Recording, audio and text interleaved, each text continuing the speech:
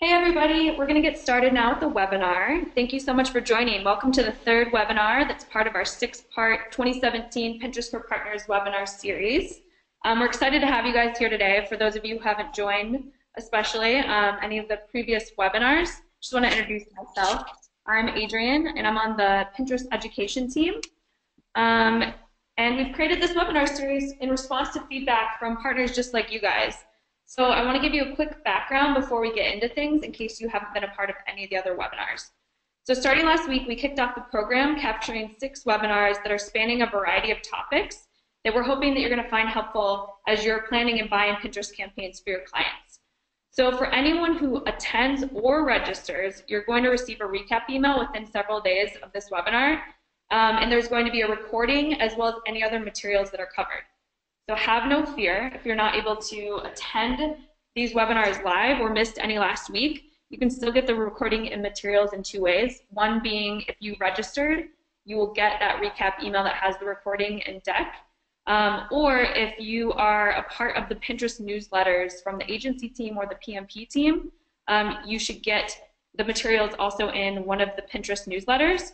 If you're not sure if you're on that, you can always reach out to your Pinterest account manager or partner manager that you work with.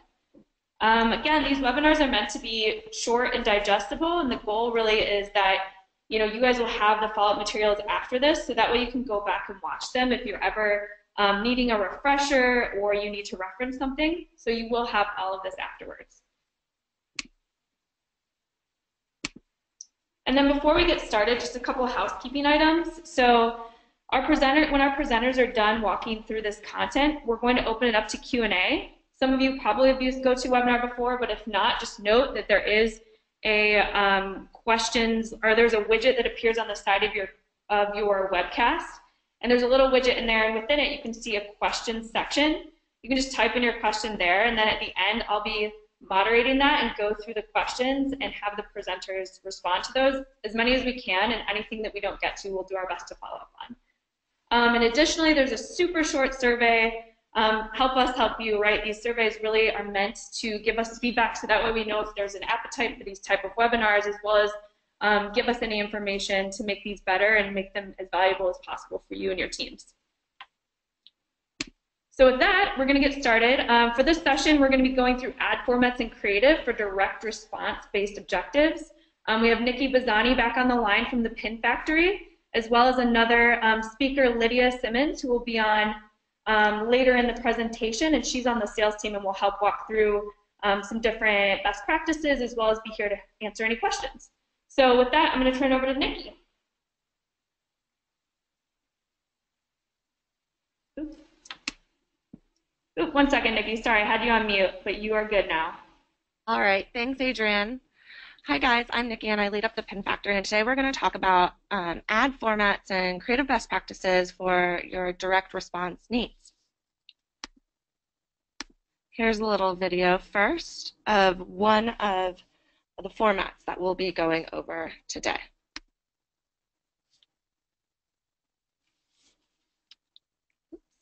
So today we're going to go over um, some formats that include app install to help drive people to the App Store to download your app. We're also going to review some best practices and guidelines for one-tap promoted pins, and then just share some overall creative best practices to help um, your clients. So each day, every day, millions of people come to Pinterest looking for new ideas and products to try and buy. In fact, almost 9 out of 10 people say that um, Pinterest helps them find new ideas and that Pinterest helps introduce them to new brands and new services. The best ideas really come from businesses, and without businesses, Pinterest just wouldn't look or feel the same. Ideas uh, come from businesses are actionable, they're credible, they're relevant, they're what people want, and they're really essential to Pinterest. So if you give a pinner a great idea, they'll want to try it. If you listen to some other webinars by now, you've probably heard that pins are ideas, and that's because they really are. Whether you're looking how to retile your bathroom or you need to learn how to pack efficiently for a trip abroad, um, Pinterest is filled with billions of ideas.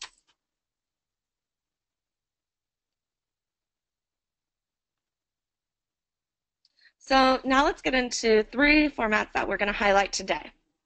Standard pins, so bringing your existing content onto Pinterest.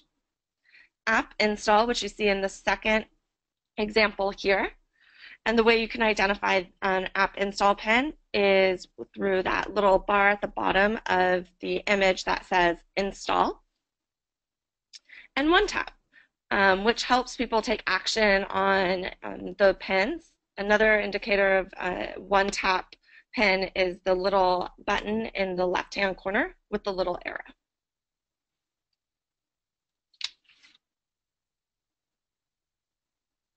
So standard pins really help drive brand metrics in both home, feed, and search. A feed offering um, is to reach people in kind of the discovery and browse mode using um, data and targeting. And then the search offering helps people um, reach people through keyword-based buying and targeting.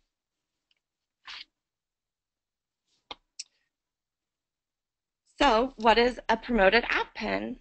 Um, promoted app pins enable pinners to discover and download um, your app directly from a promoted pin.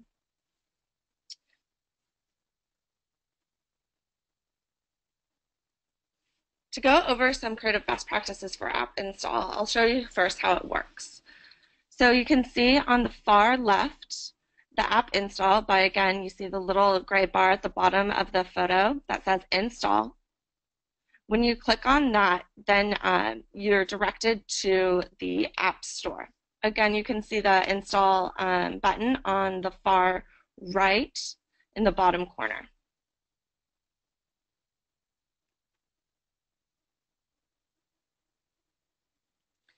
So because app install is new, we're constantly trying to test and learn to figure out what creative works best.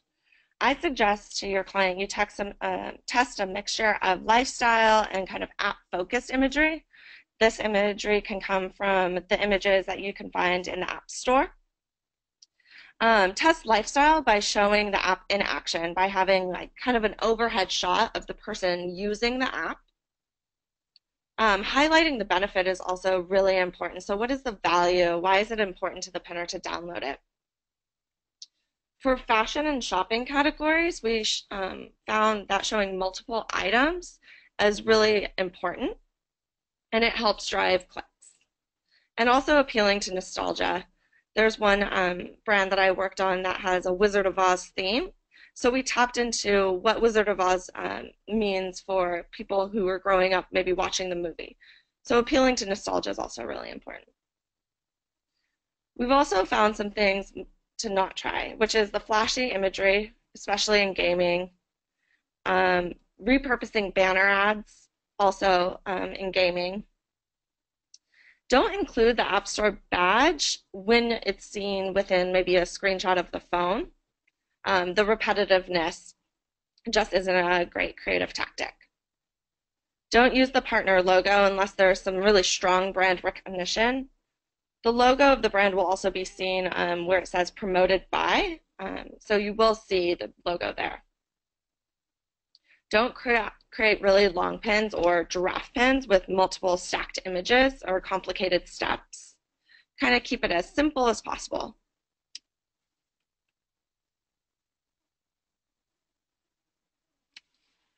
So hi everybody, I'm Lydia from the sales team, and I'm going to talk briefly about one-tap pins. So this is one of our newer formats as well, and as Nikki mentioned, it's really created to make it easier for pinners to take an action by creating a landing page experience that's very in line with people's expectations based on your pin. So to go into some creative best practices, I think for context, it's helpful to just talk about something that if we use Pinterest, we've probably all experienced before, which is clicking through a pin to a very disappointing landing page. So in this image example, you're looking at a shoe that you might want to buy. You click through and you land on a page and the shoe is nowhere to be found. It's a really disappointing experience, um, not just for the user, but you know, for your brand as well. It can really damage your brand perception and also your business results. On the flip side, we've probably all had a, a, really great experience where in this example, you see a baby outfit that you love, you click through, you land on the page on Etsy where there's that outfit and you can buy it right then and there. Um, this is what Pinterest really should be, and in one tap, this is one of the requirements that we have. Um, so I'm going to talk through some of these requirements for one-tap pins, and there are five categories that they center around. Relevance, mobile optimization, hard walls, interstitials, and pricing. We'll go through each of these, and then at the end, you'll have kind of a checklist so that when you are working with your clients, you can have this at your side to make sure that all of your pins will be approved for one tap. So starting off with relevance, what this means is, again, in this example I just used, making sure that your landing page contains elements from the pin so that it's a really seamless user experience. That can include imagery, language, or the primary subject matter. Uh, secondly, elements must be in the pin before it's truncated in the feed. So if you have a very long pin and it gets truncated, you need to make sure that what you want, what's going to be on the landing page is before that truncation. Same thing on the landing page, it has to be above the fold on a mobile device. And lastly, the product must be available and in stock if you're driving to a product page. So getting into some examples here, um, starting off with relevance, um, specifically imagery. We're showing two pins here, one that's rejected, one that's approved, and the landing page on the right. So you'll see that the rejected pin was rejected because it features makeup items none of which are in the landing page, the mobile landing page that you see on the right, above the fold. However, that approved pin shows a model shot, and the same model shot is found on the landing page above the fold. So it's a seamless user experience. This middle pin would get approved, the left pin on the left would get rejected. The second example is um, language relevance. So on the left, you'll see a rejected pin. Uh, it shows a specific recipe that you then don't see on the landing page on the right. On the flip side, in the middle, you'll see an approved pin. Uh, it shows you Scary Good recipes, and then when you click through in one tap to the landing page, you see Scary Good recipes right there on the landing page. So that language is on both the pin and the landing page, which allows it to be approved.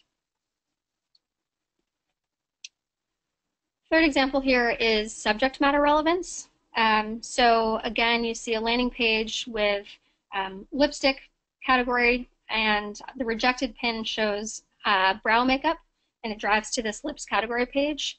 Because there's no relevance between the pin and the landing page, that would get rejected.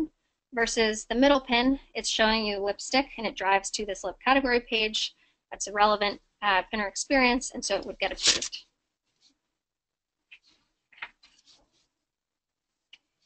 And then this last one here, so pin elements need to be uh, before the truncation. So here's an example on the left of a truncated pin in the feed.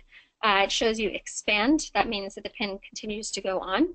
Um, and the uh, it's the pin is truncated before the registry is called out, and then the landing page is a registry sign-up page. So this would get rejected versus the pin in the middle where it's calling out uh, the registry on the landing page and it sends you to a registry, so this would get approved. So again, the, the theme here is just making sure that there's relevance between the pin that you're promoting and the landing page um, through a couple different things, such as subject matter, imagery, language, and, and showing up before truncation. The second theme for creative best practices and getting your pins approved for one tap is mobile optimization. So there's two theme, two kind of buckets underneath this theme. The first being speed. Um, really, we want to make sure that when the pinner clicks through, they, they tap and they land on the landing page. The page load time needs to be faster than eight seconds. We found that beyond eight seconds, people will drop off, and again, it's a poor user experience. So eight seconds is the uh, threshold there. You can use the Google Page Speed Analyzer to check your client's pages.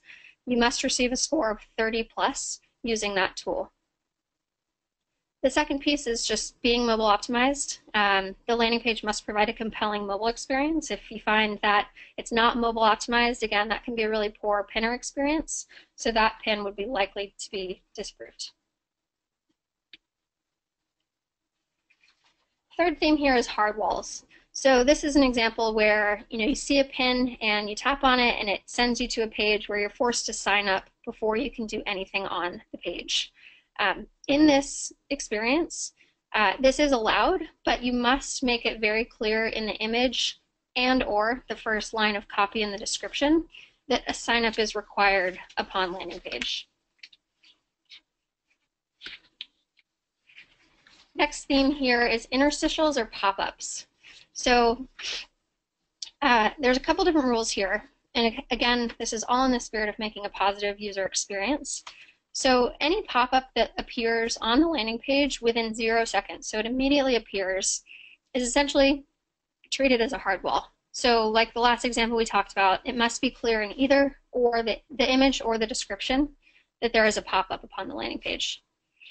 Um, the second thing here is that the pop-ups must that appear after 15 seconds. So you land on the page, 15 seconds go by, and then you're sending your client is sending the user a message that's fine. Anything between that 0 and 15 second mark is not allowed. The last thing here is you can do an inline scroll, um, but they have to be less than 30% of the page when you get to the landing page. So if I get, to the landing page, I start scrolling, um, but it's, it's already, the pop-up is already taking up 50% of the page, let's say, that would not be allowed.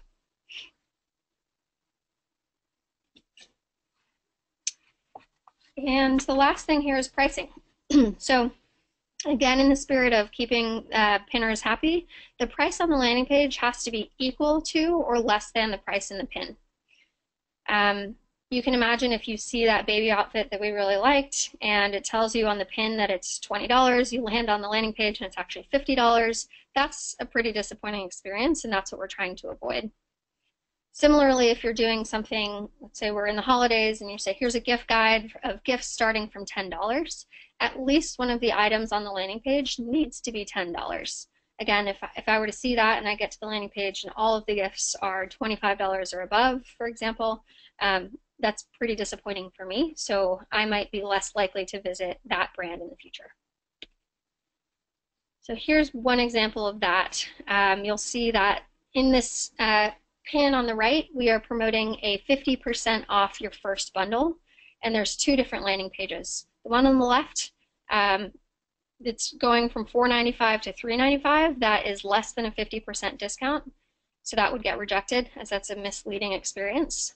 But the pin in the middle, you um, the, the item is discounted from $3.95 down to $129.95. That is above 50%, so 50% or more, that would get approved. So now that's a lot of information. So as I mentioned, this is a ad policy checklist for OneTap. Um, so you can have this on hand. We will send out the deck after this webinar. Um, it's just a helpful checklist to go through to make sure. And again, the spirit of all of this is OneTap pins take you directly from the pin to the landing page without that close-up experience. Um, so we need to make sure that the user experience is seamless from what they see in the pin to what they see on the landing page. And these are the five categories that you have to get approved for uh, to make sure that that user experience is, is a positive one.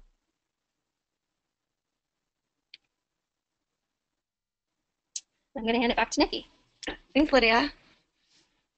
So some of you might be launching your first set of direct response promoted pins, or some of you might need a refresher.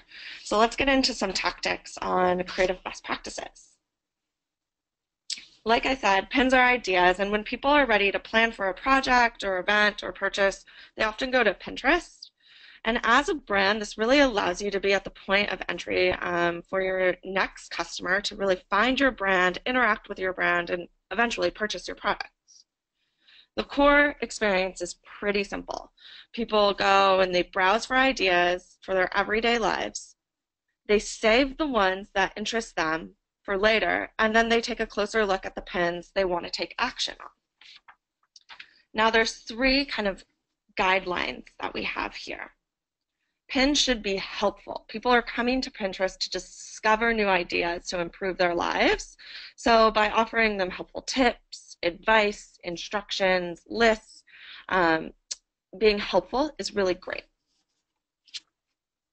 The next one is beautiful. So because Pinterest is such a visual platform and because so many pins come from businesses, ensure your pins are professionally shot in order to fit within the aesthetic of the platform.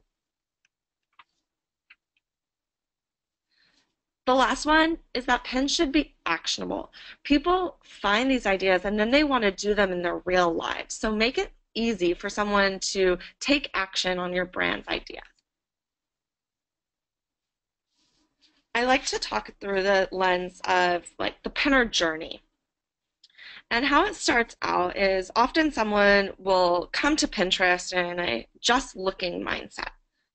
They don't necessarily know what they're looking for, but they're open to being inspired. Other times, people arrive in this maybe I could mindset, which means they have an idea of what they're looking for, but they're in a consideration mindset that leaves them open for your brand to fit right in. And of course, there are pinners who arrive knowing clearly what they want and go and they search for it. So it allows your brand to reach them at the highest point of consideration.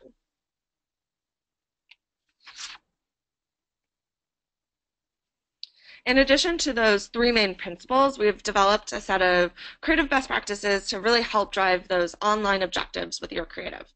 I'm going to go into each one of them in a little bit more depth. The first one being compelling images.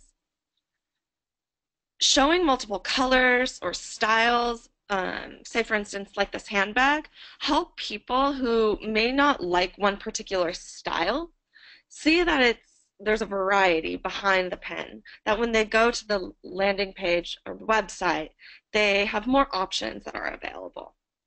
This also leads people to explore your site for a little bit longer.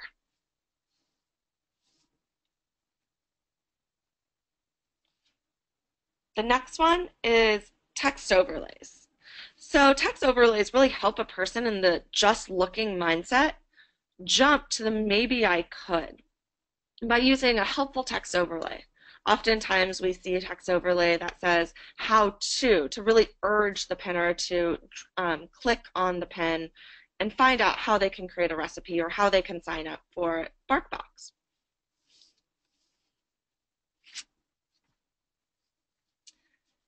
The next one is calls to action.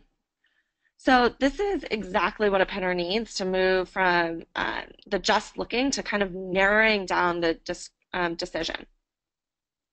You can have stronger calls to action like buy now and today sale in the description, but softer calls to action like explore or take our beauty profile quiz can be included in text overlay.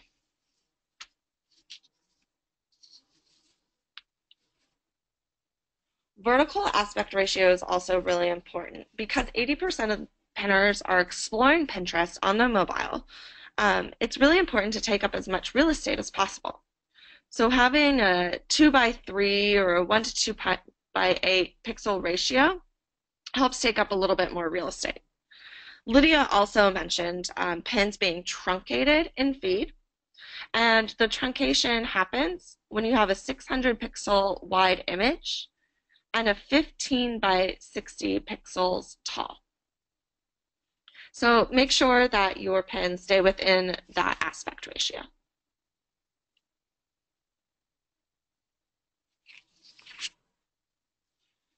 Lydia also mentioned that sign up is often a requirement for one tap pins to include in the first um, couple lines of the description. So as we see here on Stitch Fix, um, you can see it there. It says sign up for Stitch Fix um, within the second line. Detailed descriptions are also a great place where you can provide price points, special deals, offers like free shipping. Try to put your most compelling um, aspects of the pin within the description. You have up to 500 characters to use, and the sweet spot really lies within 200 to 400 characters.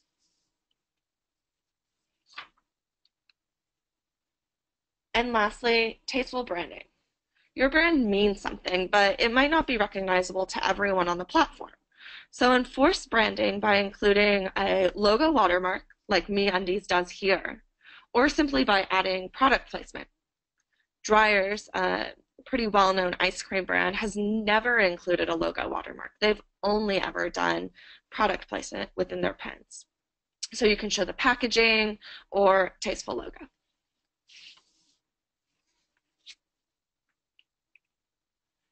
I wanted to show off a couple examples on ways to inspire action through the content itself. So taking a very lifestyle, kind of editorial approach like Nordstrom does here on the far left, and then mixing in a little bit of um, lifestyle as well as product like Darby Smart does. bareMinerals does a really great job of laying out all the products and then having the full look at the top of this pin.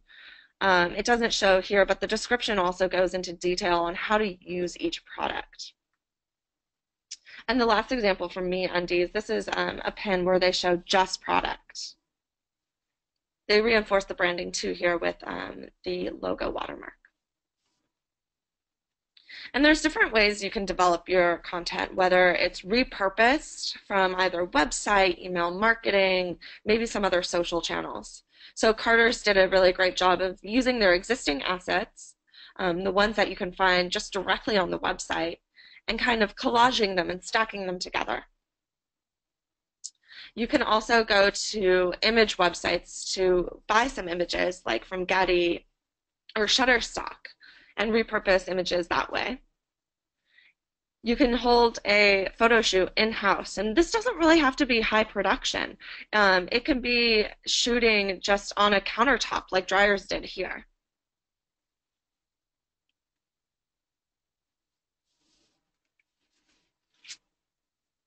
So to go over some key takeaways, like I've said before, Pinterest is filled with ideas, and people on Pinterest are really open to finding new ideas from your brand.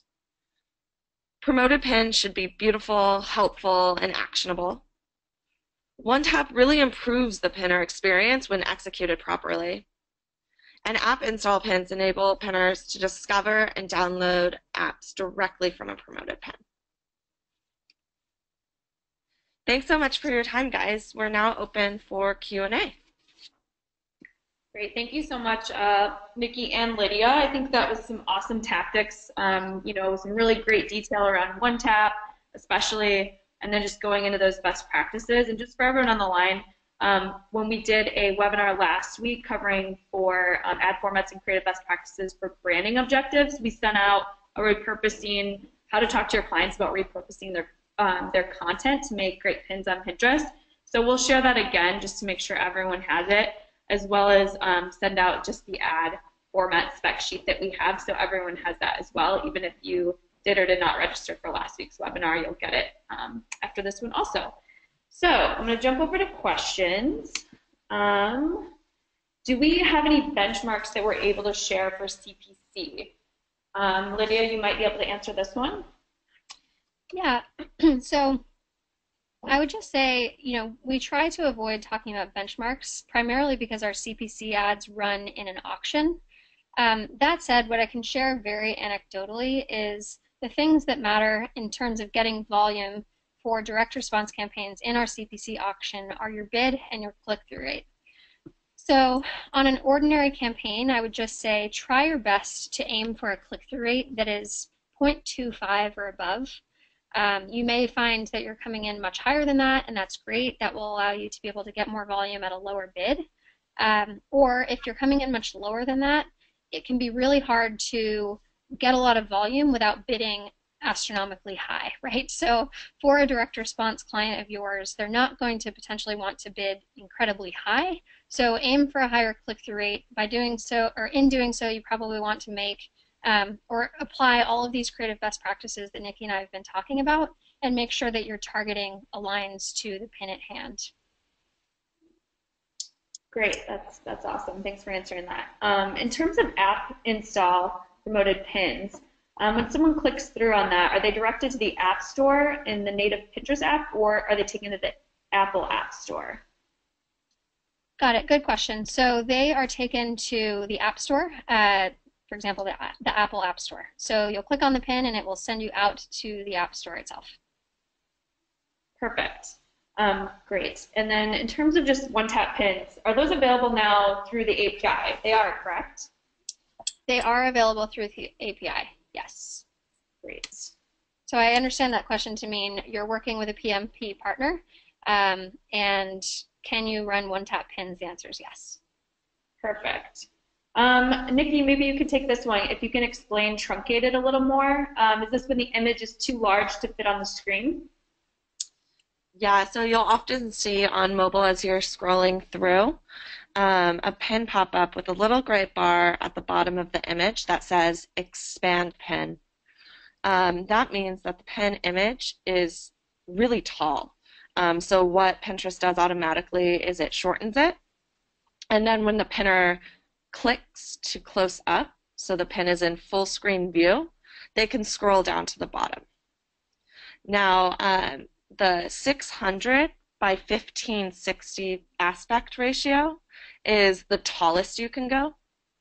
Um, I usually do a 2 by 3 aspect ratio, which is 600 pixels wide by 900 pixels tall, just to be sure um, that it's not going to truncate within the feed. That makes sense. Um, another app install question. Um, are these ads promoted pins only available for iOS or is it available on Android as well? Lydia, do you know that one?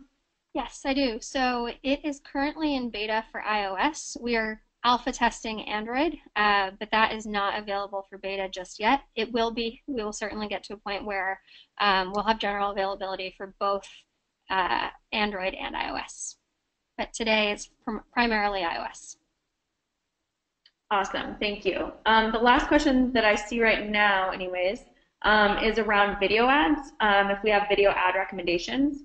Um, so video ads are typically something we recommend for clients that are, are looking for brand-based objectives. So we covered that a little bit deeper in last week's webinar um, around brand-based objectives. So the best practices would be there, and we can certainly make sure that um, you have that recording as well as the materials. Um, I don't know, Nikki, if you want to elaborate more, there's a second part to this. Um, but do video ads run better than still images typically? Um, and if we have any like recommendations or best practices around the different ad types and which are best used for what types of objectives, maybe both of you want to answer that. One of you. Yeah, I would just say, um, in my experience, it really does depend on your client's objectives. So, video today, the way it is purchased on Pinterest, is a reservation buy, and so it is primarily a brand awareness play. If your partner is trying to drive brand awareness, video is a great format, and it is one of our newer products, so it's definitely eye catching. Um, it allows it to pop a bit more, and in that it's a reservation buy, you can get some really um, high placements in the feed if your partner is trying to drive, your client is trying to drive direct response, such as sales, signups, leads, whatever that you know really performance metric might be, I would say video today is probably not the best format in which to reach those or through which to reach those goals. I would stick to some of these formats we've talked about today, such as standard CPC pins, one tap CPC pins, app install pins. Um, really just think of it as objective based formats. Perfect. I think that answers it. So, I mean, really, there's no saying one is better than the other. It's more just depending on what the objective is. Awesome. Um, I don't see any other questions coming through right now. So we might be wrapping things up a little bit early here.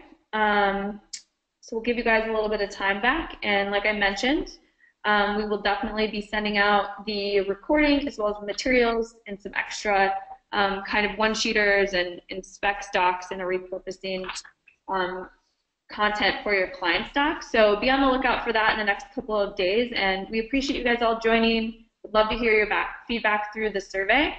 Um, and thank you guys, and we'll, we'll see you next time. Thank you. Thanks, guys. Bye.